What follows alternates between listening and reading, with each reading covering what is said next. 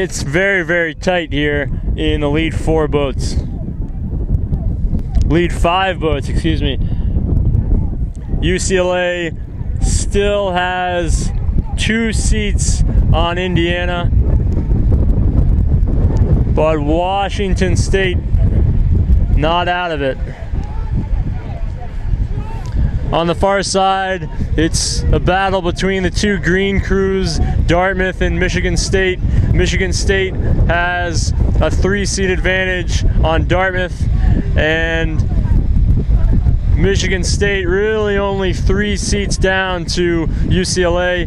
UCLA only a seat up on um, on Indiana. But like I said, wind really coming in from the crew's starboard side now, and uh, the starboard side oars definitely have to be feeling it. This is very, very tight, tight racing as we approach the 1500 meter mark. Looks like UCLA just added a little bit of zing to their stroke and have taken a couple seats um, on Indiana and Michigan State.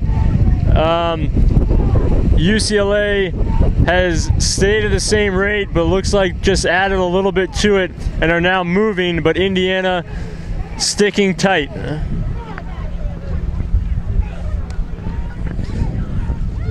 The Indiana coxswain did a great job steering. There was a big gust of wind that actually pushed them um, right on the bow line buoys. We saw the ref get right behind their lane. She corrected, um, and she handled that gust really well. Indiana doing a great job hanging tight with UCLA, but what a race it is also with Michigan State and Dartmouth side by side. Michigan State with the advantage here, three seats up on Dartmouth in Washington State, who can't quite feel that that energy of that um, race, is also in it here in lane six.